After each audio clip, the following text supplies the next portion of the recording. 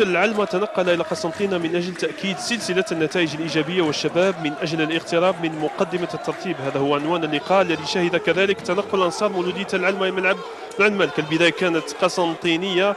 في هذا الأخذ والرد وتنتهي بقذفة نصري التي جنبت القائم. مولودية العلمة يرد بعد ذلك في هذا الهجوم الذي قاد بورنان ناحية بن زينب في هذه التسديدة لكن جانبية. ثم ركنية لشباب قسنطين عن طريق مجوج قريش برأسية في رأس المدافع والعارضة. والكرة هنا في أخذ ورد بين دفاع وهجوم شباب قسنطينة. بعد ذلك هجمة أخرى لصالح آه، مولودية العلمة عن طريق دائما نفس اللاعب بن زينب الذي كاد أن يباغت طبال هنا. الشباب بعد ذلك في هجوم آخر عن طريق فارس العوني ناحية قارة. هذا الأخير يراوغ لكن خارج مرمى صحراوي. ينتهي الشوط الأول على نتيجة تعادل سلبي صفر مقابل صفر.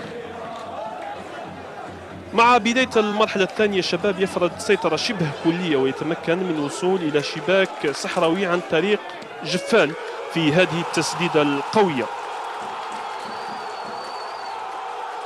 وكان ذلك في الدقيقة الرابعة من الشوط الثاني.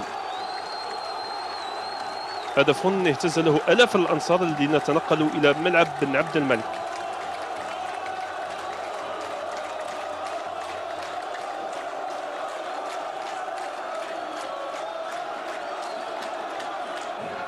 الشباب يحاول الضغط بعد ذلك ويستفيد من ضربة جزاء بعد لمسة يد آه، أحد المدافعين وهو مدافع بن عبد الله.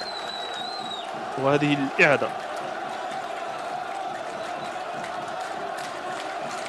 والخطأ يكلف بن عبد الله بطاقة صفراء.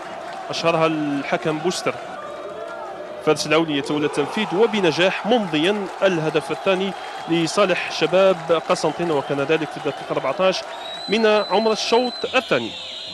وهدف فلاحي في رد فعل وتسديدة قوية لكن فوق مرمى طوبال. يصبح اللقاء هجمة بهجمة وهذه لصالح الشباب وفارس العوني برأسية لكن فوق مرمى صحراوي.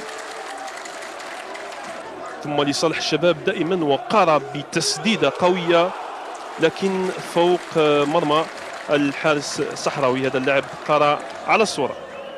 ثم بعد ذلك مولد العلمة في هذا الهجوم وبورنان بتسديدة قوية وطبال ينقذ الموقف. لصالح العلمة دائما آه، خلال آه، نهاية الشوط الثاني وتسديدة بنزين بيحولها قبال إلى ركنية ليعلن الحكم بوستر عن انتهاء هذا اللقاء بتفوق شباب قسنطينة بهدفين دون مقابل أمام مولودية العلمة مقابلة كان